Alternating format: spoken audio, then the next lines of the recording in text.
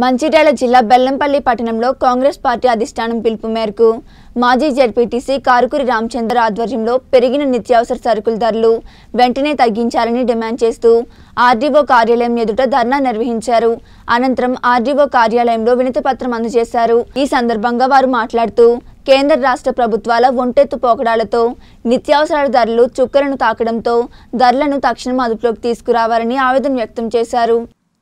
అనేక సార్లు petrol diesel ధరలు పెరిగాయని కేంద్ర ప్రభుత్వం చేస్తున్న ప్రజా దోపిడీకి ఇది ఒక ఉదాహరణ అని అన్నారు. కేంద్ర రాష్ట్ర ప్రభుత్వాలు ఎన్నికల సమయంలో ప్రజలకిచ్చిన ఏ ఒక్క హామీ కూడా నెరవేర్చలేదని అన్నారు. ప్రజా సంక్షేమాన్ని వదిలేసి కేంద్ర రాష్ట్ర ప్రభుత్వాలు ఒకరిపై ఒకరు విమర్శలతో కాల్యాపన చేస్తున్నారు. ప్రజలందరూ కాంగ్రెస్ పార్టీ వైపే ఉన్నారని కాంగ్రెస్ పార్టీ పాలన ఎప్పుడు వస్తుందా అని ప్రజలు ఎదురుచూస్తున్నారన్నారు. ప్రభుత్వం తక్షణం స్పందించి ధరలను నియంత్రించుకుంటే తీవ్ర స్థాయిలో ఉద్యమించి ప్రభుత్వానికి బుద్ధి చెబుతామని హెచ్చరించారు.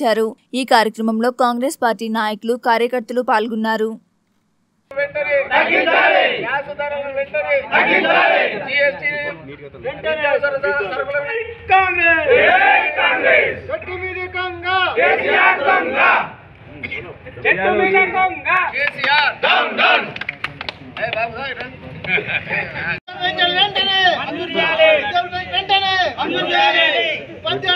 RT RT office.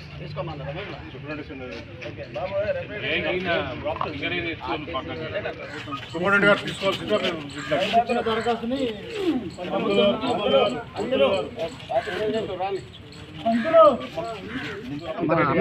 మేరకు కాంగ్రెస్ పార్టీ ఇలా పెరిగిన నిత్యావసర సరుకుల మీద ఇలా కేంద్ర రాష్ట్ర ప్రభుత్వాలు అవలం అవలంబిస్తున్న ప్రజా వ్యతిరేక విధానాల వల్ల- వి- విధ- వ్యధానాలకు వ్యతిరేకంగా ఈరోజు అన్ని జిల్లా హెడ్ క్వార్టర్లో కానీ తాలూకా హెడ్ క్వార్టర్లో ఇలా ధర్నా కార్యక్రమాలు చేసి ఈ యొక్క ప్రజల ప్రజలకు జరుగుతున్న అన్యాయానికి ప్రజలు ఇబ్బంది పడుతున్న సమస్యల మీద ఇలా ప్రభుత్వానికి కనువిప్పు కలిగే విధంగా కాంగ్రెస్ పార్టీ కార్యక్రమాలు చేపడుతూ ఉంది.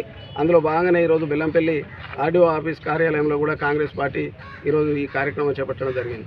ఇలా నరేంద్ర మోడీ ఆయన ప్రధానమంత్రి అయిన తర్వాత ఎన్నో ఇప్పుడు దాదాపు ఒక పది ఇరవై సార్లు పెట్రోల్ పోయినా డీజిల్ పోయినా గ్యాస్ పోయినా ధరలు పెంచి ఇవాళ పేదోనికి ఎంతో ఇబ్బంది చేస్తూ ఉన్నాడు. అదేవిధంగా కేసీఆర్ పరిపాలన ఇవాళ ప్రజా వ్యతిరేక పరిపాలన. కేసీఆర్ అయితే మనం తెలంగాణ ఎందుకోసం కొట్లాడినాము?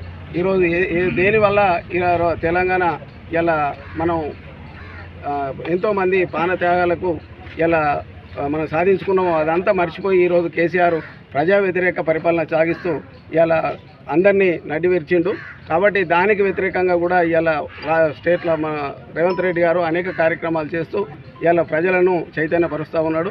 రాబోయే కాలంలో ఖచ్చితంగా కాంగ్రెస్ ప్రభుత్వం వస్తుంది. ప్రజా ఏదైతే ప్రజా